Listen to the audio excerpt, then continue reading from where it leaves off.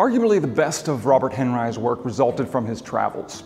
His so-called Irish portraits, which he executed from 1913 until the end of his career, are among his most celebrated and to this day most collectible. The same goes for his Spanish sojourns. Henri first visited Spain in the 1890s and would return throughout his career, including no fewer than seven visits in the early to mid 1920s. In Spain, Henri found himself enamored of Spanish culture, and he trained his eye on a broad cross section of society. He captured the humanity of the country, focusing above all on individuals in their respective milieus. The diversity that he encountered in Spain finds easy parallels in the richness of New York City life. Across class, race, and profession, the subjects of the earlier part of his career. Henri was especially drawn to gypsy subculture, a subject to which he returned throughout his career. The crown jewel of the Bowden's collection is Spanish Gypsy, painted in 1924 during one of the artist's sojourns in Spain.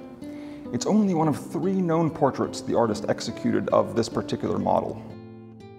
Although nearing the end of his career, Henri was at the height of his powers in the 1920s, on full display here in Spanish Gypsy. The woman is shown seated, bust length, her lips pursed and her arms folded neatly in front of her. Her clear eyes and penetrating gaze are framed by raven black hair, a testament to the sensitivity with which Henri captured his sitters. Passages of red in her sleeves, the ribbon in her hair, her earrings, and in her cheeks punctuate the scene. The sitter, Dolores, her name is known, returns our gaze with self-assurance. Here, Henri enlists color, not only to fill out the composition, but to express personality, and you might say a certain authenticity. The tone of her face, neck, and arms are among the brightest elements of the composition. A simple, nondescript background directs our attention to the woman, while long streaks of color, blue and mustard yellow among them, are repeated in the painting's background.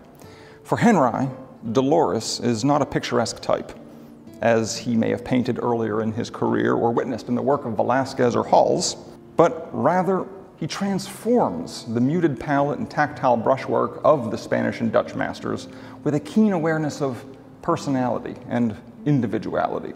He imbues his sitter with energy and vitality, animating them through color and composition.